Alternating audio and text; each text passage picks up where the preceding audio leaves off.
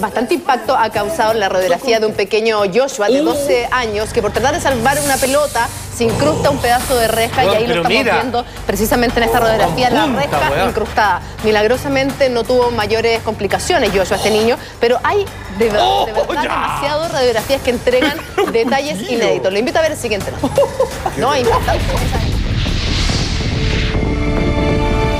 Esta radiografía muestra las púas de una reja que se le clavó a un niño de 12 años, que milagrosamente salió vivo de este accidente.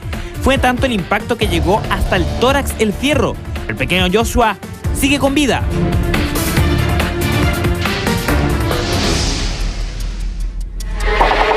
No es el único caso de impactantes radiografías. Mire esta donde una persona logró salir sin daños cerebrales luego de tener por varios años un cuchillo en su cabeza.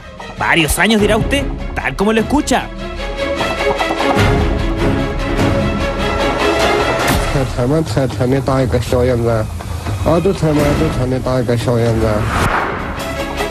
Pero hay algunos que se las dan de fakir y terminan en la clínica. No lo hagan en sus casas jamás estos niños. Mire a este hombre que se tragó una llave inglesa. Y esto fue lo que le pasó.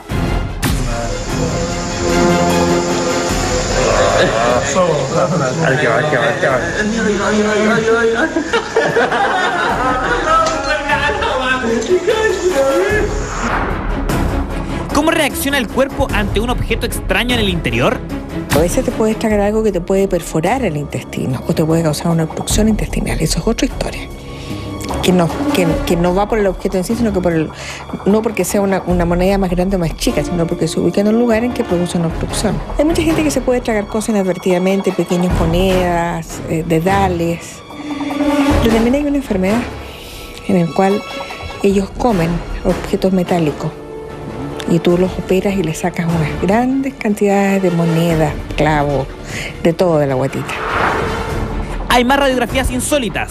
Este hombre chino que fue atravesado por una flecha. Mire cómo se marca. ¿Qué le pasó? Nada. Terminó vivito y coleando. Este es impresionante. Un pequeño niño cayó de cara en un manojo de llaves y así se vio en esta sorprendente radiografía. Ojo con los niños en casa. Eh, depende de la cantidad. Cuando son grandes cantidades que se han tragado, por supuesto, producen una distensión gástrica, puede provocar una expulsión intestinal, etc.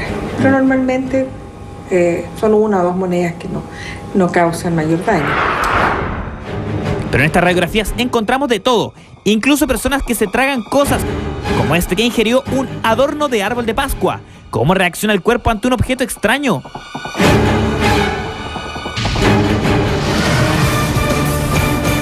Insólitas radiografías como estas que muestran a personas que en su cuerpo resisten el tener objetos incrustados. Situación que para los médicos muchas veces ven con mucha impresión.